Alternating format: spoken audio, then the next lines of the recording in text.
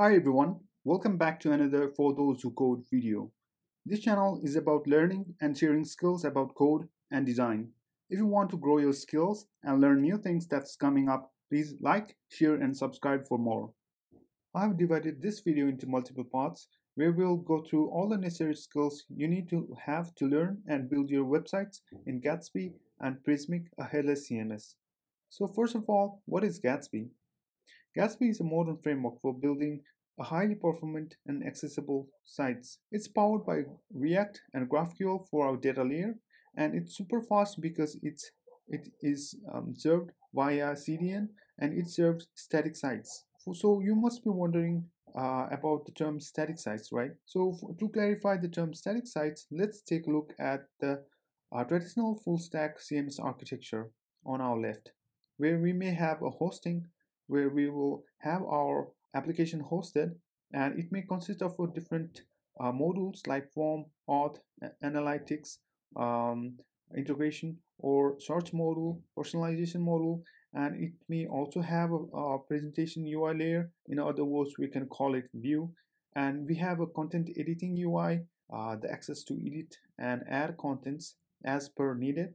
And definitely we will also need a database where all the data that we need for the application is stored. Generally, this kind of full stack CMS architecture, which is traditional based, is uh, provided by normal WordPress, Drupal, and others. Now let's take a look at uh, the diagram on the right, where we will have the modular headless CMS architecture, and on our right, uh, the power of uh, Gatsby really signs on.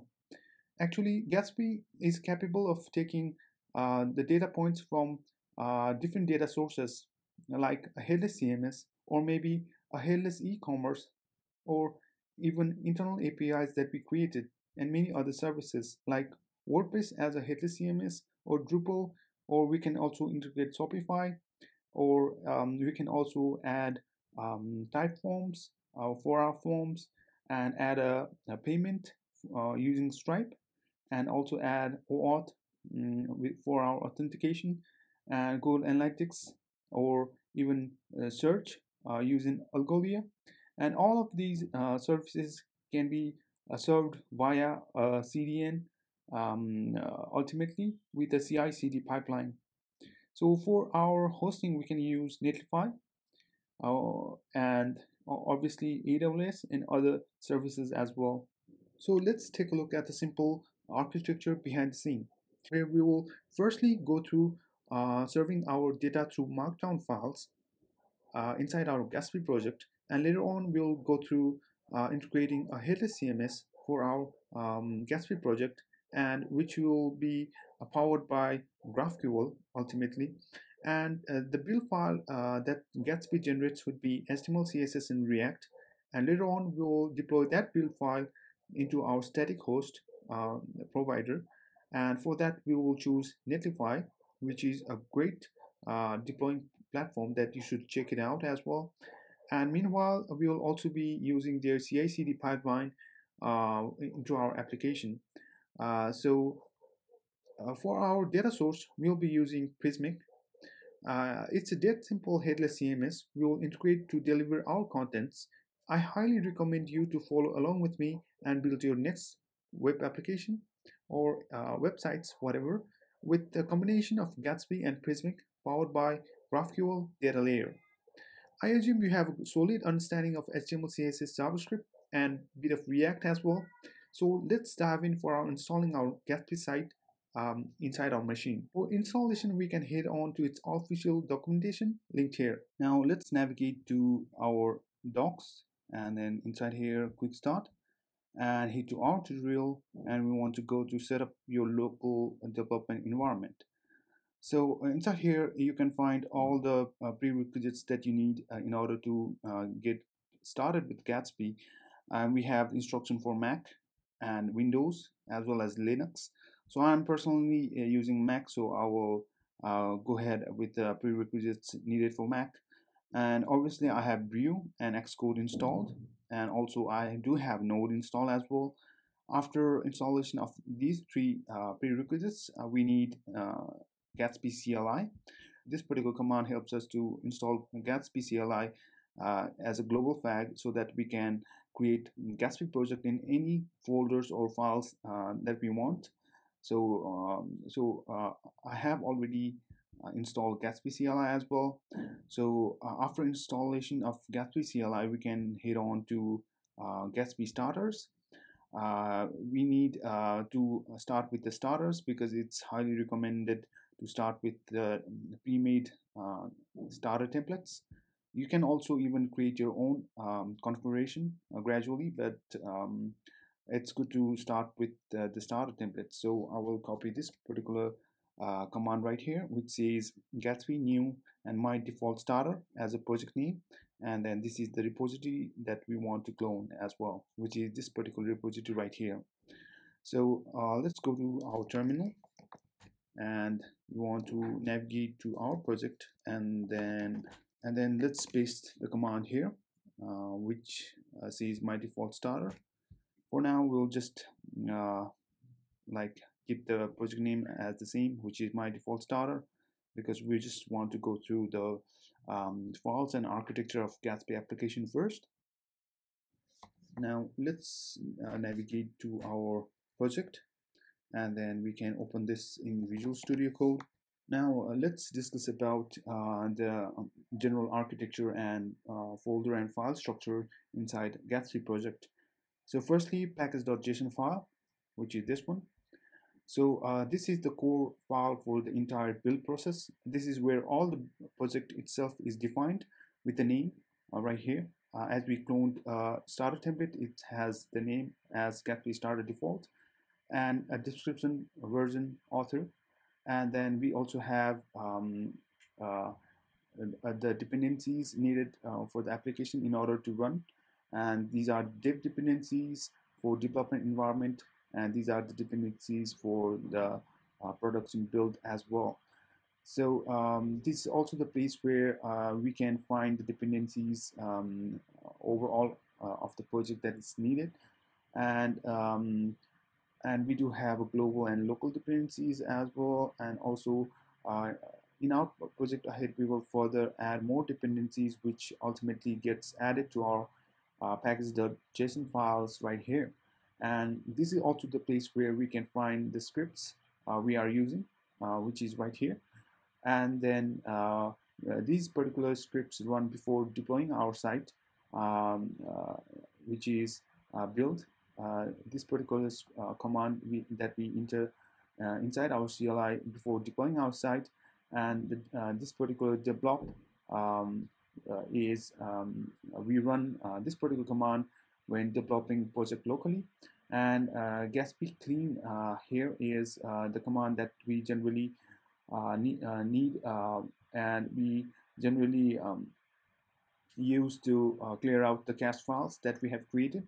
And also there are a lot of uh, other commands that uh, we can find here as well. You can also write your own custom scripts. And then we'll be also be going to three main scripts uh, throughout uh, this video tutorials uh, which is build and then uh, for building our project develop for developing our project and clean for cleaning out our cache files now the next file uh, that uh, we need to discuss about is Gatsby config file, so which is gatsby-config.js. And um, uh, in this file, we'll be working quite a lot inside this file. Uh, this is the place where we can configure how Gatsby operates.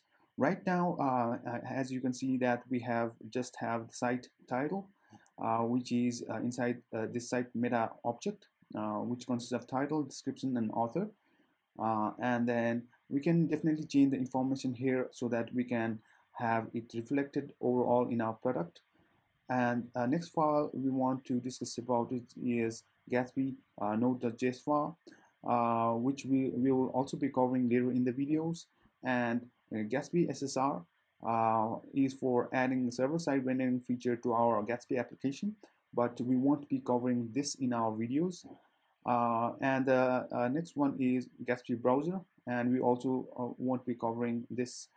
if you feel like knowing about these um, these files and what are they useful for, you can visit the links um, commented over here.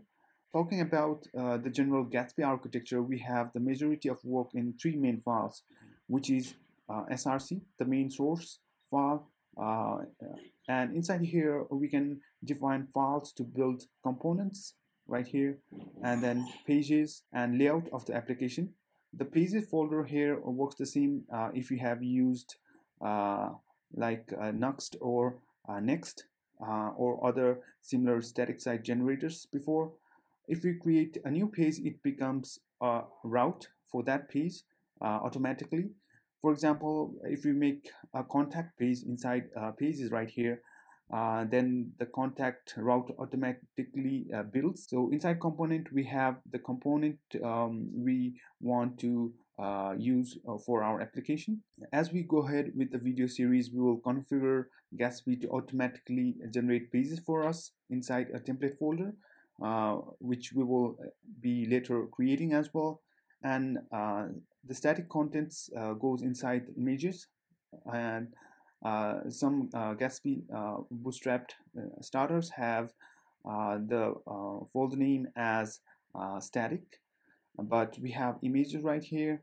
So it's generally the same uh, like serving static assets uh, for our application like icons images and so on uh, and uh, for the kind of like uh, source like markdown files we will place them outside of src file as they are not really the part of code.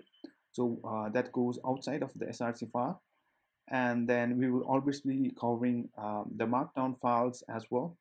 And uh, so the gatsby config will consist of um, plugins uh, right here. And then it's con consists of a lot of plugins and there are pretty much uh, defined plugins already. And um, we uh, will use this uh, as we go along with our video series as well. And Gatsby node uh, is the place where we instruct Gatsby node to perform actions outside of what Gatsby normally does. And this is the place where we define our functionality that grabs markdown files and turn them into type of files and other complex handling logic inside this so uh, pretty much we will be going through the src file and then the, the Gatsby node and then Gatsby uh, config in the process of building our demo application in this video series. So guys, in this first module of the video, uh, we understood about the Gatsby and its folder structures. And um, uh, that's it for the first uh, uh, video. And thank you so much for uh, watching my videos. If you guys want to learn about design and development more, Please like, share and subscribe with a click down below. I'll be trying to make more better videos like this one. Uh, see you in the next one guys.